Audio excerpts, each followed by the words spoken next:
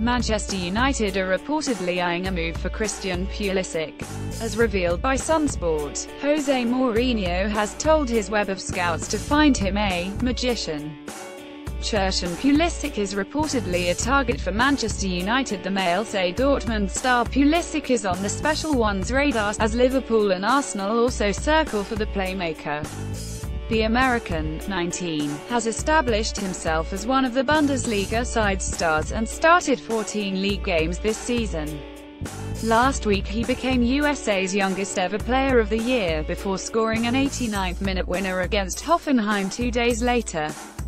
Pulisic went to watch United as a youngster during a year in England, aged 7.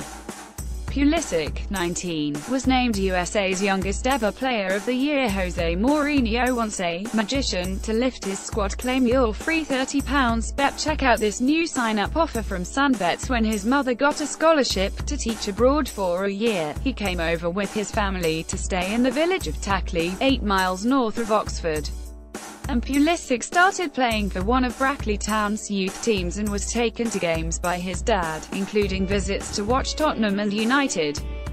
Mourinho is determined not to play second fiddle to great rival Pep Guardiola at the Etihad and could swoop for Pulisic.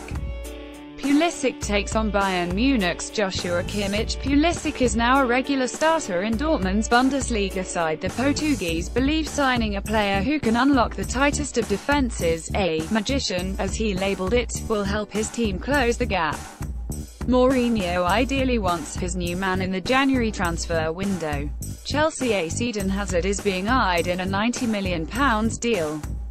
Neil Ashton Jose Mourinho's bad luck stories getting boring following Man UTD's humbling defeat Mesut Ozil is also wanted, but Mourinho would have to wait until the Arsenal star's contract is up at the end of the season. Gareth Bale is a long-term target and Chelsea winger Willian is a Mourinho favourite. United are also keeping tabs on Bordeaux winger Malcom. What would Bordeaux star Malcom bring to Manchester United?